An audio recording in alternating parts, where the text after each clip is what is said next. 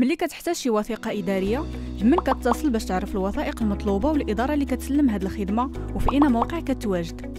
وزارة إصلاح الإدارة والوظيفة العمومية وضعت رهن إشارة المواطنين منظومة إدارتي ومركز مختص للاتصال والتوجيه الإداري. اجيو نفهموا شنو هي هذه المنظومة وشنو هي هذه الخدمات اللي كتقدم.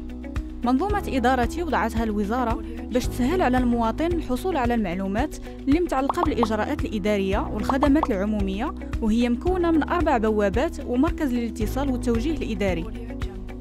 بالنسبة لبوابة الخدمات العمومية كتوضع رهن إشارة المواطن جميع المعلومات المتعلقة بالإجراءات الإدارية والخدمات الإلكترونية. وحاليا كتضم أكثر من 800 مسطرة إدارية موزعة حسب 14 موضوع من وثائق شخصية مثلا أو الأسرة الجبايات الشغل وغيرها.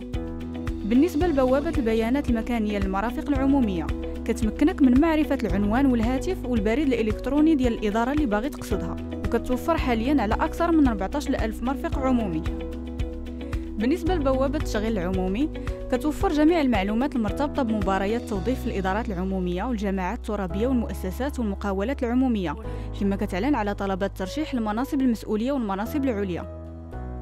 وبالنسبة للبوابة الوطنية للشكايات فهي كتسهل على المواطن يقدم ويتبع الشكاية ديالو كما كتمكنو من الإدلاء بالملاحظات والاقتراحات ديالو. واللي خاصنا نعرفه هو أن هاد البوابات بربعة مزودين بالتطبيق المحمول الخاص بهم باش يقدر المواطن يستافد من الخدمات فين ما كان.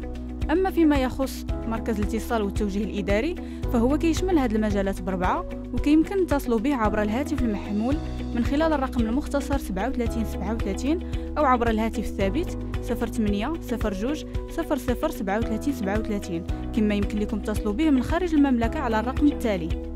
من يوم الاثنين إلى الجمعة ومن الساعة الثامنة والنصف صباحا إلى الساعة الرابعة ونصف بعد الزوال.